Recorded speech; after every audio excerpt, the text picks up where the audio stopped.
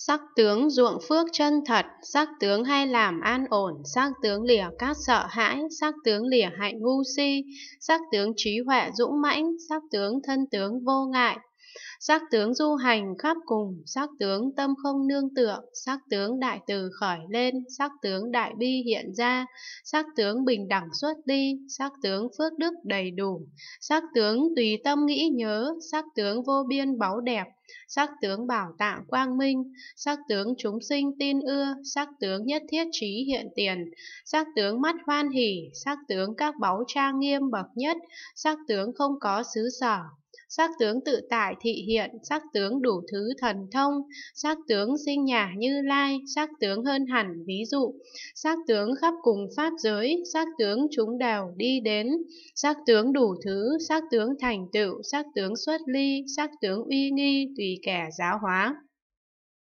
Sắc tướng thấy không nhàm đủ, sắc tướng đủ thứ sáng tịnh, sắc tướng hay phóng vô số lưới quang, sắc tướng bất khả thuyết quang minh, đủ thứ khác biệt, sắc tướng bất khả tư gương quang minh, vượt qua ba cõi, sắc tướng bất khả lượng ánh sáng mặt trời chiếu sáng, sắc tướng thị hiện thân mặt trăng không gì sánh bằng, sắc tướng vô lượng mây hoa đáng ưa thích, sắc tướng sinh ra đủ thứ hoa sen, mây búi tóc trang nghiêm, sắc tướng hơn hẳn hương lửa ngọn trọn vân khắp tất cả thế gian, sắc tướng sinh ra tất cả như lai tạng, sắc tướng bất khả thuyết, âm thanh khai thị diễn sướng tất cả pháp, sắc tướng đầy đủ tất cả hạnh phổ hiền. Phật tử, Đại Bồ Tát vào sâu pháp giới vô sắc như vậy, hay thị hiện đủ thứ những sắc thân như thế, khiến cho kẻ được giáo hóa thấy, khiến cho kẻ được giáo hóa tưởng nhớ.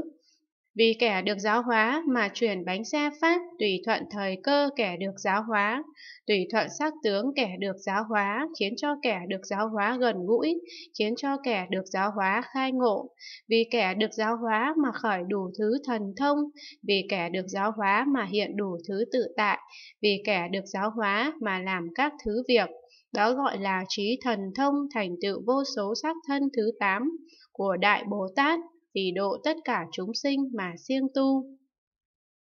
Phật tử, Đại Bồ Tát dùng trí thông tất cả Pháp, biết tất cả Pháp không có danh tự, không có chủng tánh, không đến, không đi, không khác, chẳng không khác, không đủ thứ, chẳng không đủ thứ, không hai, chẳng không hai, vô ngã, không so sánh, không sanh, không diệt, không động, không hoại, không thật, không hư, một tướng chẳng phải tướng, chẳng không, chẳng có, chẳng pháp, chẳng không pháp, chẳng tùy tục, chẳng không tùy tục, chẳng nghiệp, chẳng không nghiệp, chẳng báo, chẳng không báo, chẳng hữu vi, chẳng vô vi, chẳng phải đệ nhất nghĩa, chẳng không đệ nhất nghĩa, chẳng phải đạo, chẳng phải không đạo, chẳng xuất ly, chẳng phải không xuất ly, chẳng lượng chẳng vô lượng, chẳng thế gian chẳng xuất thế gian, chẳng từ nhân sinh chẳng phải không từ nhân sinh, chẳng quyết định